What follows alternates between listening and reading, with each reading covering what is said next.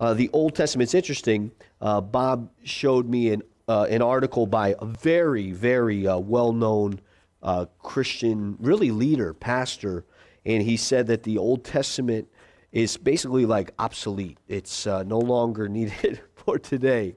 And it's interesting. The Bible tells us that in the last days there would be a great departing from the faith. You know, if you've been with us on Sundays, we've been looking at the book of Jude. And it's a book about apostasy, about a departing from the faith. And it's really what we're seeing happen. Guys, listen, if you say you want to know God, what I want to tell you is this He wrote a book, okay? He wrote a book. It really is that simple. The believer that tells you, well, it's not that simple, I would recommend find somebody else to go to Starbucks with, okay? Um, because it is that simple. God wrote a book. If you want to know Him, listen, he wrote it down. You could get to know him. He wants you to know him. God isn't a mystery that is bound up in one individual or some guru. God has written it in a book because he wants us all, anyone, to be able to seek him. And I encourage you guys, you know, just out on Wednesday, seeking to know the Lord, uh, good, good for you. But if you have your Bibles, we're, gonna, we're in the book of 1 Samuel. Years and years ago, we started in Genesis chapter 1, and on Wednesday night, we're going right through the Bible. So, you know, if you're looking to know the Bible, to grow in your walk with the Lord, to know God's Word, that's what we do here. And uh, if you want to know the Bible in like a week, um, it's impossible. Uh, 66 books written by, you know, 40 different authors over the course of, you know, a couple thousand years, but all inspired by the Holy Spirit. And one thing I like to say here is the best way to learn the word is plate by plate, okay? Plate by plate. You know, it's just like eating an elephant. You try to eat the whole thing in one bite, it's not going to be good. Talk about indigestion, you know. Um, but plate by plate. And what we do here is chapter by chapter. You learn the word, you will grow in the grace and in the knowledge of the Lord Jesus Christ. So, tonight we are in 1 Samuel chapter 2. We'll be looking at verses 18 through 36. And man, this is such a powerful message. Um, it's, uh, if you're taking note, the title to this evening's message is Honor God and You'll Be Honored. Uh, this is a principle that applies to every person, every Christian. If we would catch this, oh, how lives would be changed and transformed. Honor God and you'll be honored. We'll look at that tonight. But before we dive in, let's, let's once again pray. We've got our Bibles open, but we need the Holy Spirit uh, to. Uh, to really make this alive to us. So, Father, we pray tonight, Lord, just with simplicity. We know your word is sharp, it's a double edged sword. And Father, it, it corrects us, it, it encourages us. Lord, your word nourishes us. Lord, like the children of Israel, the manna we had from yesterday, it's no more today. We need a fresh manna. Lord, we need to hear from you today, to learn of you, to eat of you. So we pray, bring that about in our lives in Jesus' name. Amen. Amen? The title, Honor God and You'll Be Honored. I was reading the Wall Street Journal, but uh, I read this article and it, it really broke my heart. Uh, more young veterans committing suicide. The VA data show among U.S. veterans ages 18 to 34, suicide has jumped to 45 per 100,000 population in 2016. Uh, it's, it, it's up quite a bit. And the rate of suicide, I'll read a little bit of the article, among young military veterans has increased substantially, guys, despite the efforts by the Department of Veterans Affairs to curb the problem. Though overall veteran suicides declined slightly, according to new data uh, released this week, uh, the, the, the veterans between that, the younger veterans are taking their life in, in really record numbers. Guys, listen, uh, as we dive into the word tonight, I want you to know this. The word of God, you and I taking in the word and applying it to our life, it literally has uh, uh, incredible uh, repercussions for the lives of those around us. Um, I would gather that this past week, in your coming and going to the grocery store, to work, driving in your neighborhood, you have passed multiple people that are at life's the, the end of their rope. Okay? Uh, the words of Jesus that you and I are the salt of the earth, I don't think have ever been more needed to be heeded by God's people than they are today. You are the salt of the earth. And we're going to look tonight about honoring God. Honoring God. It's so important that you and I catch this. Uh, Thomas Carlyle, he said, Show me the man you honor, and I will know what kind of man you are. Uh, it's really that simple. you know, who we honor, who we value, what we honor, what we value, really will determine what type of people we are, guys. Uh, you know, it's amazing how the enemy, the Bible said, Jesus says, where your treasure is, there your heart will be.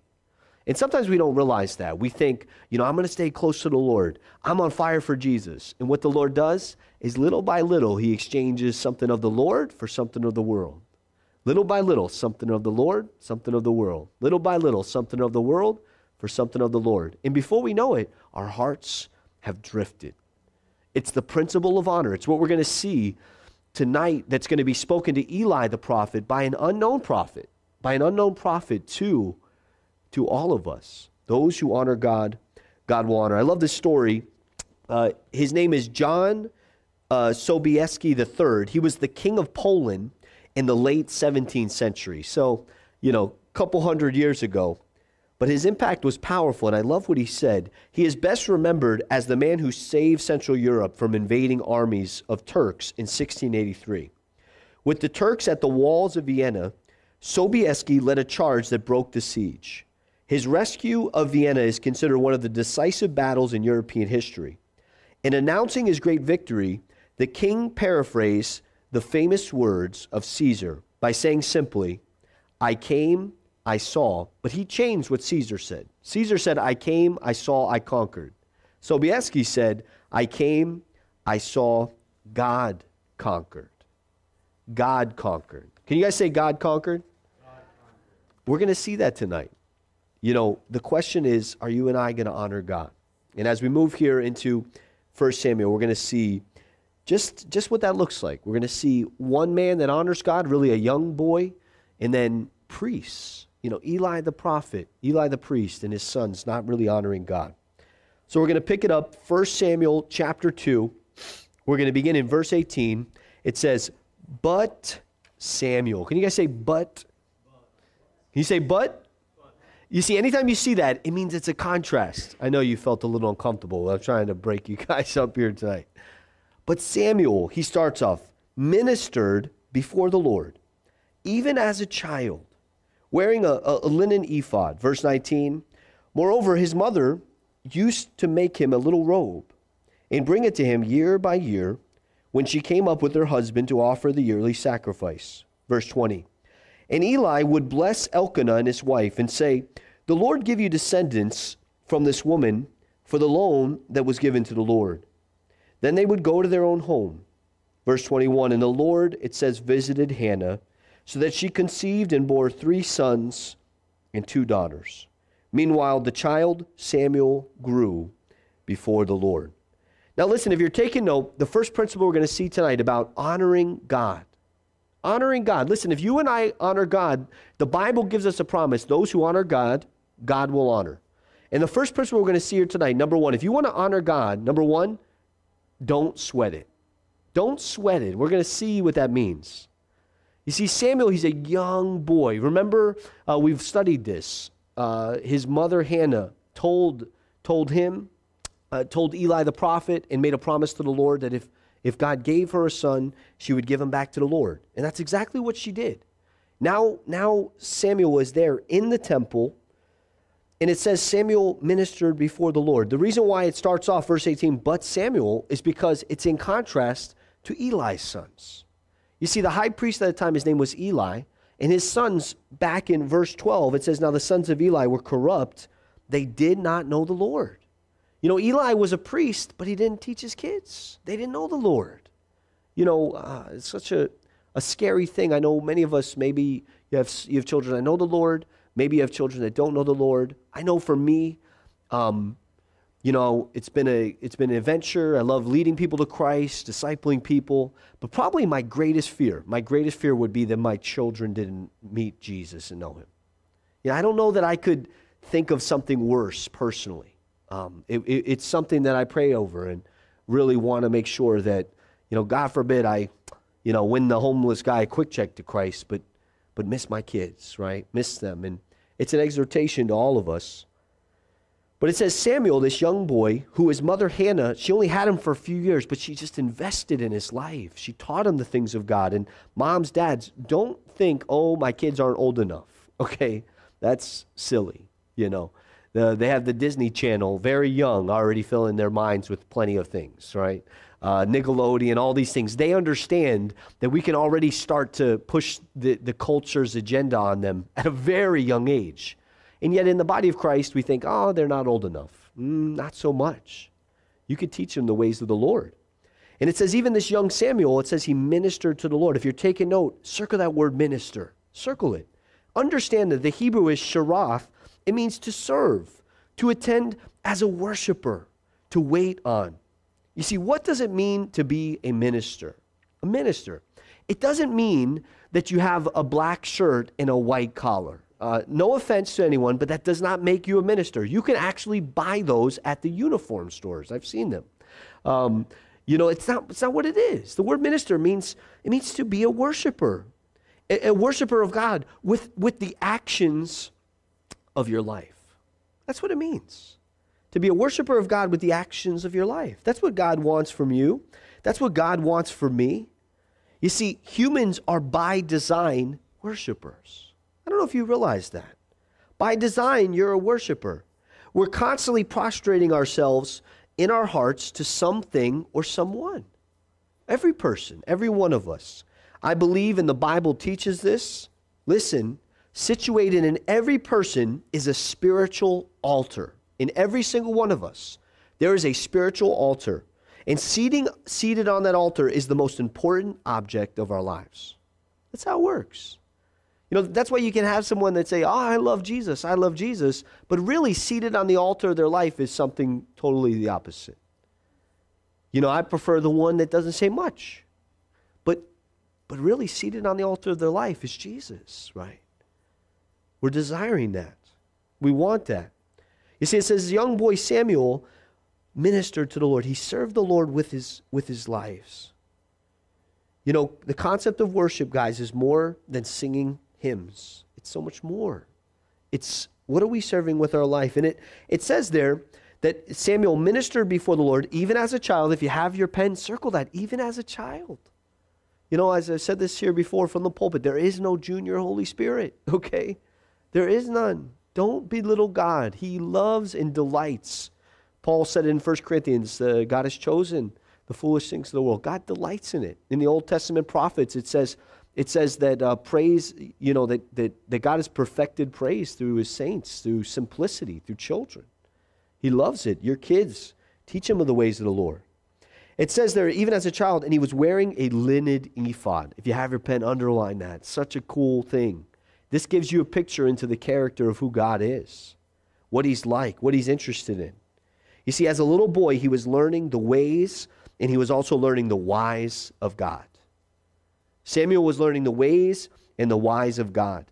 You see, even in Christian education, we have to be careful with this. You know, we're Westerners, we have church, you know, we have children's classes and all these things, and they're nice. But, guys, even in all of this, Jesus Christ cannot be obtained through academia. It is impossible because Jesus is a person.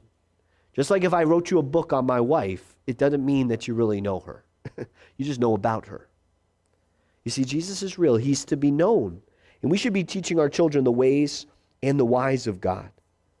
You see, Eli's sons were corrupt. They would have been the priests that would have followed Eli into the priesthood.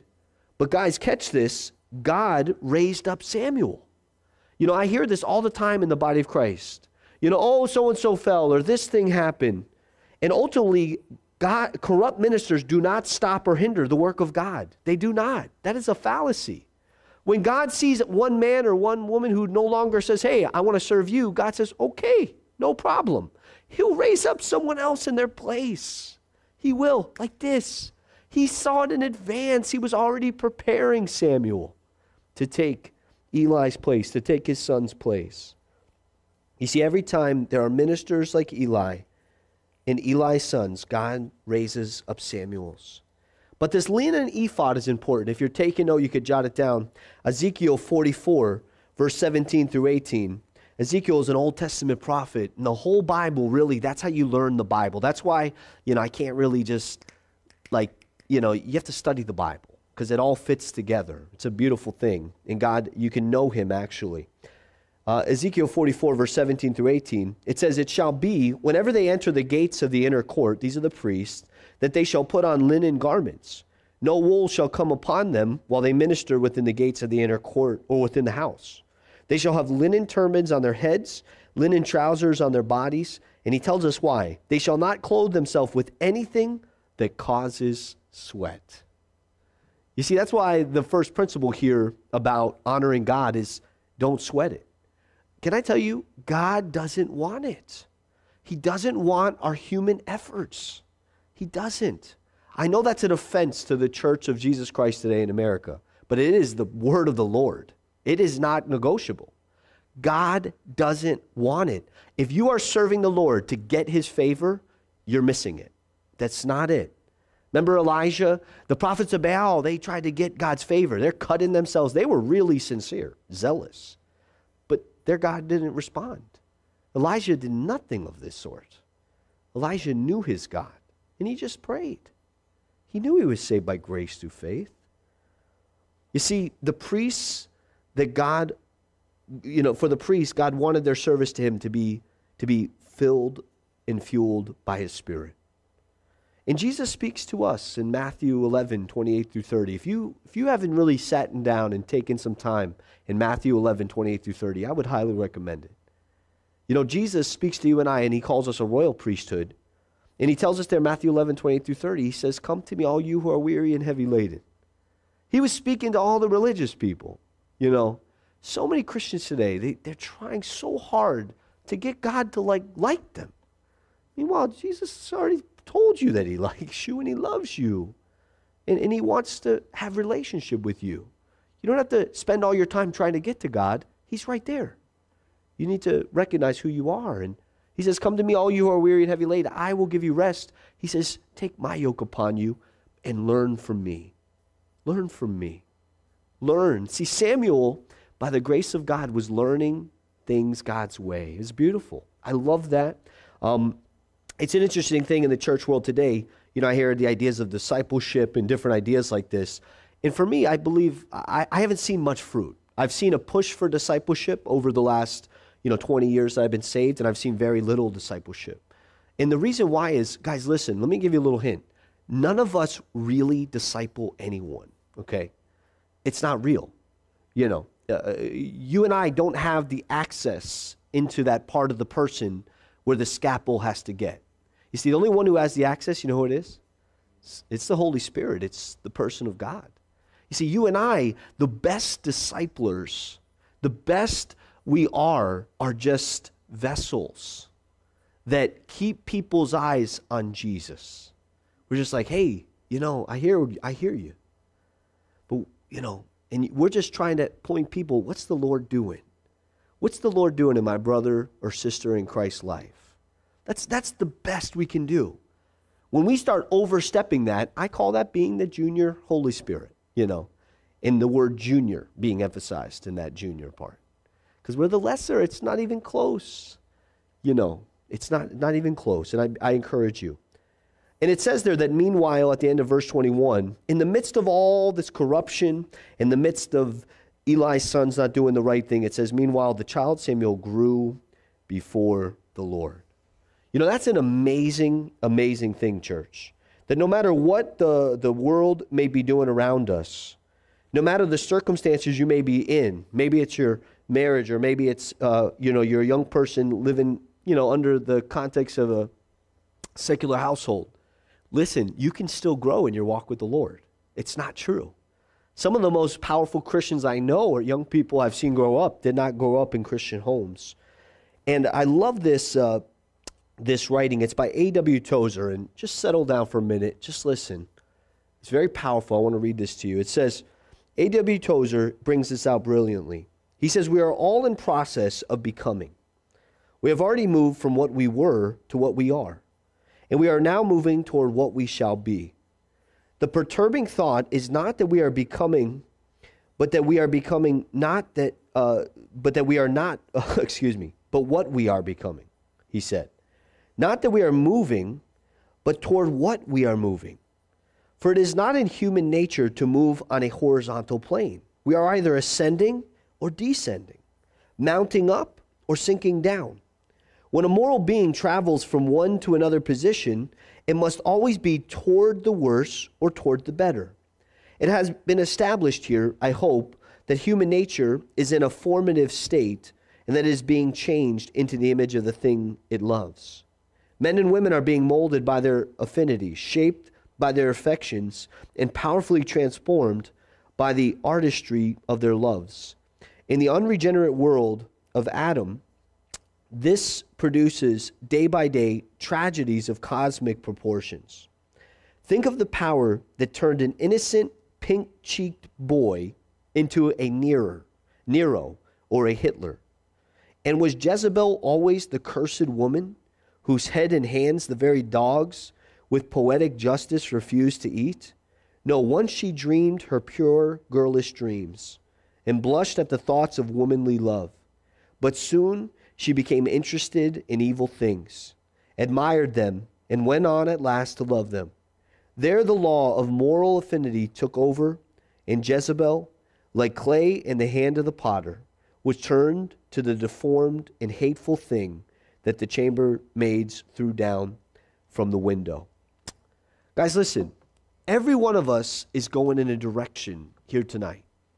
Samuel, in the midst of difficulty, in the midst of even, you know, chaotic surroundings, grew, the Bible says, in the Lord. He grew in the Lord. Now let's continue. Verse 22. It says, Now Eli, he's the high priest at the time, was very old. And the next chapter, tells us when he dies, he was 98 years old when he dies. So at this point, he's probably in his, in his late 80s. And he, he heard everything his sons did to all Israel. Look at this. And how they lay with the women who assembled at the door of the tabernacle of meeting. Now, listen, stop there. We're talking about honoring God, and God is about to clean house in his house. Number two, if you're taking note in terms of honoring God, guys, listen, sexual holiness matters. It matters to God. You know, God has his ways, he has what's right and he has what's wrong. And listen, um, you know, uh, there, there's a book. It's it's called. Uh, uh, it, it's it's a newer book out by Albert Mohler, and he's talking about just the impact of the sexual revolution and how the seeds that were planted then we're really reaping them now, and we're seeing like in the culture like just an insane just rebellion against what God says about sex, what God says about being a man, what God says about being a woman, what God says about marriage. And this is what I want you to get here.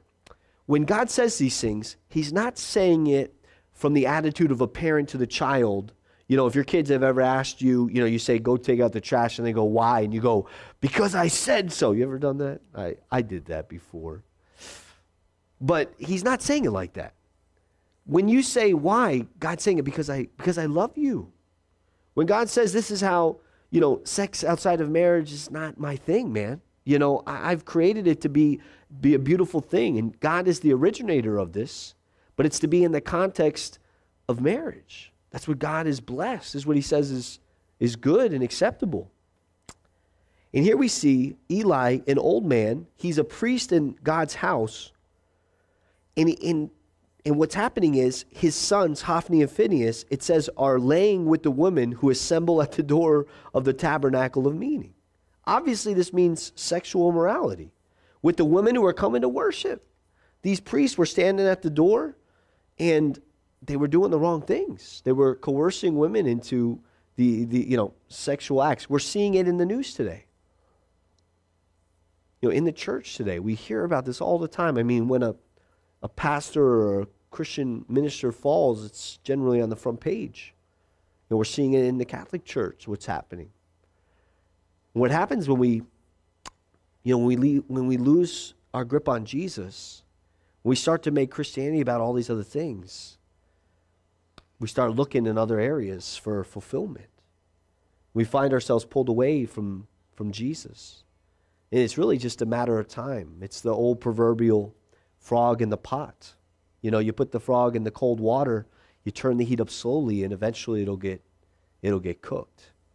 And that's what happens. That's what happens. That's what happened here. And don't miss this. Guys, listen. God is going to deal with Eli, he's going to deal with his sons.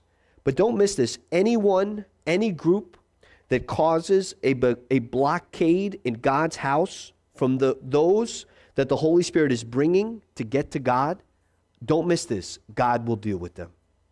God will deal with them.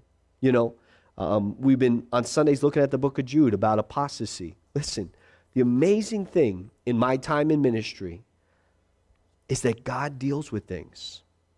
You know, often people will think that, oh, Pastor Bill did this or Pastor Bill did that. And often, guys, I did nothing. really. All I did is teach the Bible, and, you know, God deals with things. God knows the hearts of man. He knows when there's, there's devious motivations and these, these other things, and God will deal with it. Because anything that will block, if God wants to bring someone in to hear the gospel and for them to know that God loves them and really desires to have a relationship with them and to change their life, anything that will block that ability of the Holy Spirit to work, God is going to move, remove that. That's what He does. And it's a work of the Spirit, you know. And here we see, even with Eli and his sons, God is going to deal with this. Let's move on, verse 23. It says now, it says, So he said to them, so Eli now finds out about this, and it says, He says to them, Why do you do such things? For I hear of your evil dealings from all the people. He says, No, my sons, for it is not a good report. It is not a good report that I hear. You make the Lord's people transgress. If one man sins against another, God will judge him. But if a man sins against the Lord, he says, Who will intercede for him? It says, Nevertheless, they did not heed the voice of their father because the Lord desired to kill them. Verse 26 And the child Samuel grew in stature and in favor, both with the Lord and with men. Now, listen, if you're taking note, it's number three in terms of honor God and you'll be honored. Number three is there does come a point in our walk with the Lord in our maturing in Christ that we have to think about others. Honor God by thinking about others. You know, before you go to make a decision, think about others. You know, um, it's a tough thing sometimes. We miss this. And for Eli, he goes to his son and he starts off, if you have your pen, it's there in verse 23. It says, So he said to them, Why? If you have your pen, circle that word, why. Now, listen, this word is in the original language, but in my Bible, I have it X'd out. And the reason why is when you're dealing with your kids, don't ask them why. when your kids do something wrong or they rebel, don't go to them and go, why? Don't, don't ask them why. They, you're their parent. You're their parent. You're to teach them the whys of God's word, and that will make them wise. You know, when we go to our kids and we, you know, we go, uh, you know, why did you do this? Right? Well, the Bible says that because there's a sinful nature in them, and that's why there are kids, and it's our job to parent them and to teach them, well, listen, I know you did this, but Junior, listen, this is what God's word says. You know, God says not to do that, you know. Just because you feel like punching your sister in the face doesn't mean it's good. the Bible says, love your neighbor, right? Pray for those who persecute you. That, that's our job, guys. And, you know, we, we have to be careful. There's definitely been a move in the culture kind of to uh, pander to our children.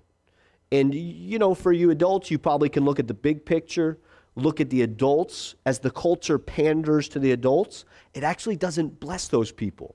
Um, it doesn't bless them. I remember years ago, we uh, planted a church in, in East Harlem in northern Manhattan, and and it was uh, you know you're, you're seeing folks get saved and really the, the majority of the population there is on uh, you know public assistance. Well they get born again they're grown men and you know there came a point in their lives because because i love them that you know they'd grow they'd read their bibles they'd begin to grow in their walk with the lord and there would be a point where i would sit down i'd look them in the eyes and I'd say listen i love you. But this is the thing. You know i got to tell you the truth. One of the reasons why you're you're kind of depressed and you're not really growing is because you have to go get a job. and, it, and I'll tell you, it sounds harsh, but for these men, it was the best thing that ever happened to them. You know, we've, we've seen men go on to get very good jobs and grow and mature and make money and move out of that situation and be able to pull themselves out of it. But how does that happen? It's not by saying why, it's by teaching them the whys. Teach them what the Bible says. Teach them what God's word says, what God plans for them. And Eli here, guys, when it, come, when it came to parenting, when it came to raising his kids and speaking to his sons, I want to say this Eli did not have any guts, okay? He had no guts. He was afraid of how his sons were going to respond to him. He was afraid to tell his boys the truth. Say, listen, I love you. This is the deal, though. This is what God's word says. And I've seen this before in parenting, and I'm going to tell you this it doesn't work. it does not work. I've watched kids go from bad to worse in this environment because mom and dad just don't say the course. They say, okay, well, we'll modify everything for you, sonny. You know, doesn't work. You honor God, God will honor you. God will honor you. These boys were stealing from God's house. They were sleeping with women, women in the church. This is not an appropriate response. This was not. And Eli said to them, You make the people transgress. You know, if you want to honor God, it's more than lip service, guys. You have to catch this. I know it's the Wednesday crowd, so I'm going to speak to you maturely from the Bible. Uh, Matthew chapter 18, verse 6, Jesus speaks about um, believers. He speaks to religious people, and he says, It would be better for you, quote unquote, mature Christian, if you tied a millstone around your neck and threw it into a lake and let it bring you to the bottom, than that you, quote unquote, mature religious Christian, cause a younger believer to stumble. Um, I believe, this is from my heart to you as a church, I believe the Lord wants to bring revival. I do not believe the church of Jesus is even remotely close to mature enough to, to be able to disciple a revival. Not even close. Uh, we see it in our own church. We see people get saved. I was speaking to a pastor of a much larger church, and they said they haven't seen a conversion in like 10 years. Big church. They don't see conversion. They see people coming from other churches, but not people getting born again. And I said, well, we see, you know, we see people get born again here. Yeah, quite a few. But what happens, it's generally a more quote unquote seasoned believer that stumbles them. This just happened the other day. I was at Suffering Day talking to, uh, you know, we're sharing the gospel, and one of the sisters was sharing with me about, you know, somebody who's, you know, received Christ here, but just stumbling. And they said, I finally found out what happened. and as the pastor, I usually know anyhow. I just don't say anything and I pray about it. And she went to tell me, and I said, Let me, let me just guess. And I said, and she goes, How did you know? I said, Well, I have this pastor spider sense, you know. I just I just know. I just saw the conversation taking place. And, you know, often I can't you know, sometimes people are like, why didn't you stop it? It doesn't work like that. Imagine you're in a conversation, I just knock the coffee out of your hand. No, it doesn't work. You know, what I have to trust is that God's people are growing up in their faith and learning, you know, that you can't take a nursing baby, right, and give them a porterhouse steak, you know. I'm trying to believe that God's people maturing to that place. It's important as God's people, we remember where we were when we were first saved. And what could happen, you know? Because it's important to the Lord. If you want to honor God, it's more than you just doing spiritual things. You have to, as the point was, you have to think about others. You have to think, how is my actions going to affect others? You know, um, there's a debate in Christianity today uh, whether pastors can drink alcohol. I don't know what the debate is. I really don't. The Bible says it so clear when you read 1 Timothy, the qualifications of a bishop. Qualification, if you want to drink and be in ministry, deacon is your thing, man. That's your thing. It says deacons can have some alcohol. But when you read about bishops, it says, no, no alcohol. And, uh, you know, I was on a website of a, another church, and the pastor was saying how one of his main hobbies was drinking. And, uh, and I said, you know, it's interesting. The Bible says that's wrong. My wife, though, because she's smarter than me, uh, she said, you know, that's not even the worst part. The worst part is he's not thinking of all the people he's going to stumble. All the people that are going to read that that struggle with alcoholism. And they're going to go, well, if Pastor so and so can do it. And it's, it's really true. We miss that. You know, you, you and I have to think that way. Be careful. Be careful in that arena. Well, let's move on. Verse 27. He says this. It says, Then a man of God, and this is going to be through verse 33. Then a man of God came to Eli and said to him, Thus says the Lord. We don't know who this prophet was, who this man of God was. He's one of those anonymous people in the Bible. Thus says the Lord, Did I not clearly reveal myself to the house of your father when they were in Egypt in Pharaoh's house? Did I not choose him out of all the tribes of Israel to be my priest, to offer upon my altar, to burn incense, and to wear an ephod before me? And did I not give to the house of your father all the offerings of the children of Israel made by fire? Verse 29, the prophet says to Eli, Why did you kick at my sacrifice? Basically, why did you despise the things of the Lord? and my offering which I have commanded in my dwelling place. He says, and honor your sons more than me, to make yourselves fat with the best of all the offerings of Israel, my people. Verse 30 Therefore, the Lord God of Israel says, I said indeed that your house and the house of your father would walk before me forever. But now the Lord says, Far be it from me. This is that verse. If you have a pen, underline it. For those who honor me, I will honor and those who despise me shall be lightly esteemed. We'll come back to that. Verse 31 Behold, the days are coming that I will cut off your arm and the arm of your father's house, so that there will not be an old man in your house. And you will see an enemy in my dwelling place, despite all the good which God does for Israel. And there shall not be an old man in your house forever. But any of your men whom I do not cut off from my altar shall consume your eyes and grieve your heart and all the descendants of your house shall, shall die in the flower of their age. Now, man, that sounds like a pretty harsh judgment, doesn't it? And that's why the Bible says in James 3, verse 1, that let not many assume to be teachers, for they will receive a stricter judgment. That's the type of judgment God has for those that assume or walk in the role of responsibility in the church and take it lightly. It's very serious.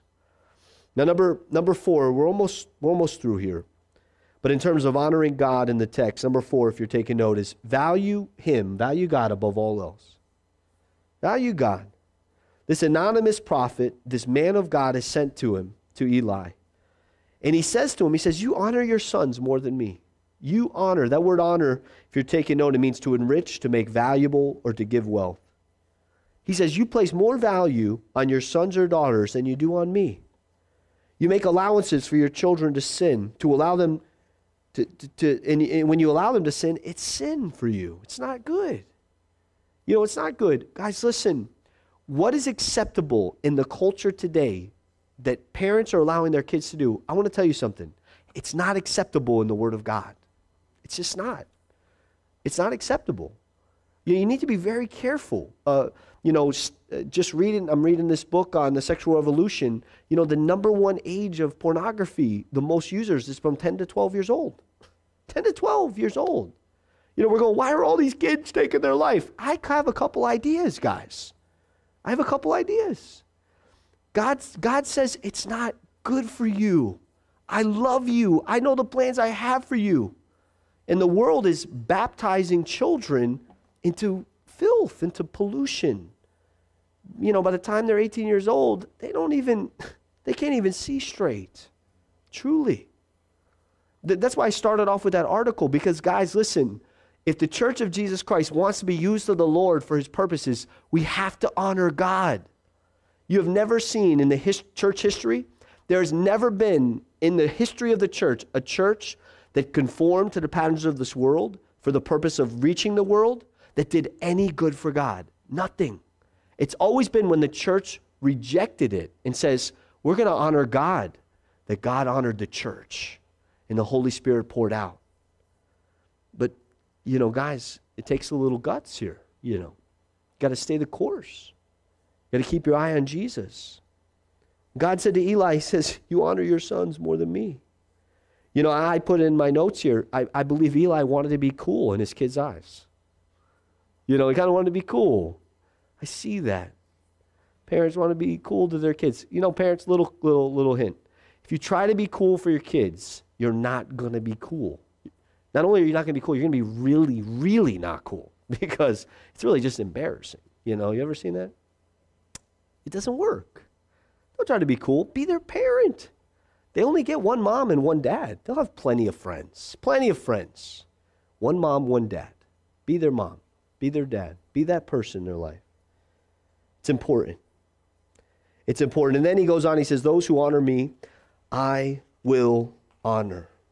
Those who honor me, I will honor. If you could catch this, individual, believer, man, woman, teenager, if you could catch this, those who honor God, God will honor. I have come up against so many oppositions familial oppositions, I've come up against ministry oppositions. And, and through it, I've made plenty of mistakes, but through it, I've sought, Lord, I want to honor you. I want to honor you.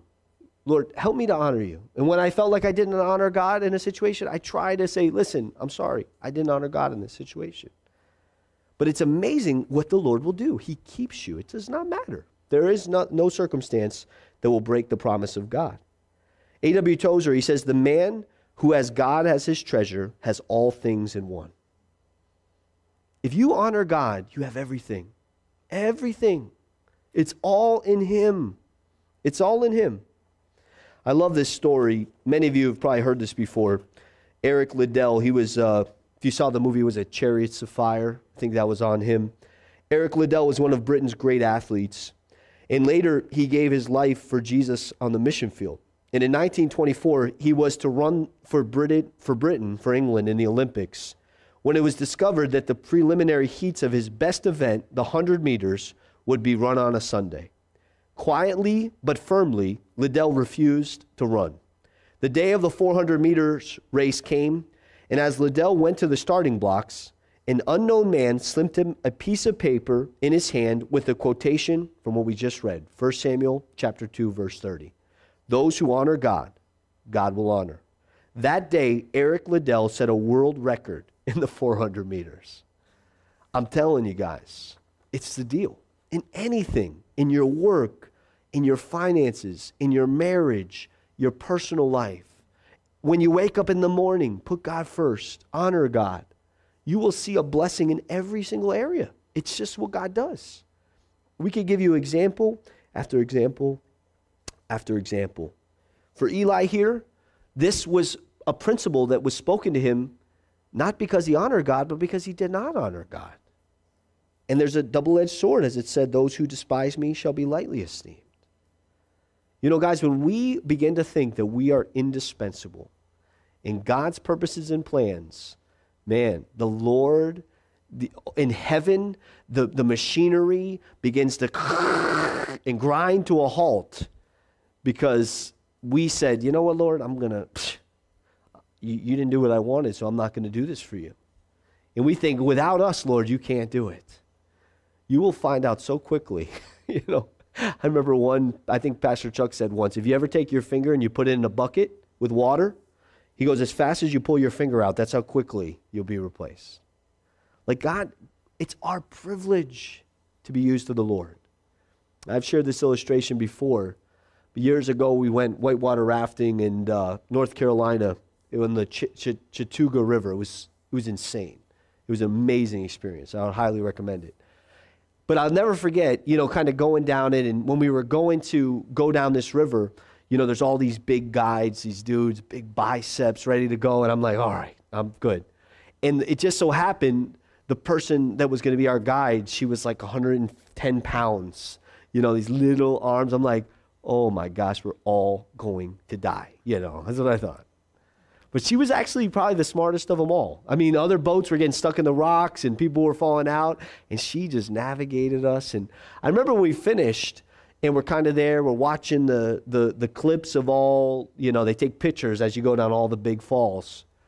And I remember kind of laughing and seeing all of us, right? When we're going down the fall, no matter how courageous you are, it, it just something happens. It's scary. You dive in the boat, right? And there she is at the back, sitting up tall, steering the ship. And that's really how this thing, Christianity, really works. It's really how it works. is we're in the midst of a trial and we think, I did it. I accomplished. Meanwhile, if you look at the slides, you look at the pictures, there you are in the corner, sucking your thumb. It's going, Lord, please help me. And the Lord's getting you there. He's directing it. The key is just stay in the boat. It's okay. But He's doing it. Those who honor God, guys, God will honor. Don't think yourself indispensable. Stay humble, really, especially if the Lord is blessing you, especially if He's working in your life. Stay humble.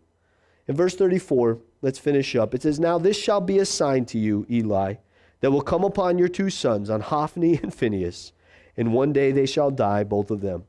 You know, guys, listen, I just want to stop for a moment, and I encourage you, Bible students, do not take the ministry lightly. It has happened in our day.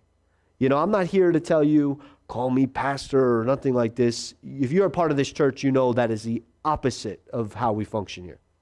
But I don't want you to miss this. The ministry is, is not light. It's not. Read your Bible. When ministers goof around, God deals with them. So if you're reading this going, wow, this is really harsh, well, it's because God takes it seriously. He really, truly does.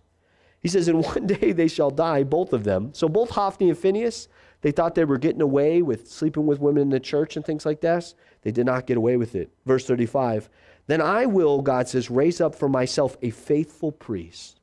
You want to know what a minister should look like? Faithful, who shall do according to what is in my heart and in my mind. They're not self willed, but they're seeking the will of God. I will build him a sure house. For that minister, there'll be a foundation, structure, solidity and he shall walk before my anointed forever. Verse 36 And it shall come to pass that everyone who is left in your house will come and bow down to him for a piece of silver and a morsel of bread and say, Please put me in one of the priestly positions that I may eat a piece of bread. And God is basically saying there, Listen, I'm going to restore the reputation of the priesthood that you've destroyed, that you've brought down, Eli a couple things we'll finish here. Number five, in terms of honoring God. You want to honor God, you need to come again to Jesus. The most honoring thing you could do, the most the way you could show God that you value him is go and spend time with him. You know, in the Greek, the word honor, it's amazing. I remember studying this years, years ago. And I went to study it in the Greek, and I look it up, and the Greek word for honor is T I M E. Time. It's where we get our English word for, for you guys that can spell and read, time. Yes, very good. That's it. You want to show God you honor him? Give him time, man. You know, spend time with him. Rest in him. Rest in him. Come to him. Sit with him. And, and who is this faithful priest that's predicted here? I think Samuel kind of kind of fulfills this.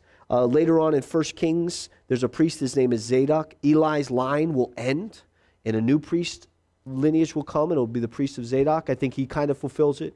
But I really think this is fulfilled in the person of Jesus Christ. He's that ultimate faithful priest. You and I, guys, we could come to before the Lord at any time. Anytime you come to the Lord and you say, God, I know I've blown it today. I know I had this problem or that problem, or it's been a while, Lord, since I've come. He's faithful. He's waiting. He desires to meet with you. He, he cares for you and I. And I would say, come again to the great high priest. Listen, next week we'll look at 1 Samuel chapter 3, chapter 4. There's going to be a prophecy. This is going to be Samuel's first prophecy. And really, this whole book of 1 Samuel is God's people are going to bring about man's king. And then in 2 Samuel, the next book, it's going to be God bring about, bringing about his king, what he wants to do. But this week, guys, I can't encourage you enough. Honor God. Honor God in your life, in your personal lives. Honor God with your families. Honor God. Can you guys honor God? Do it. I can't. That's what the church needs. We need to honor God again. You know, honor Him. Amen.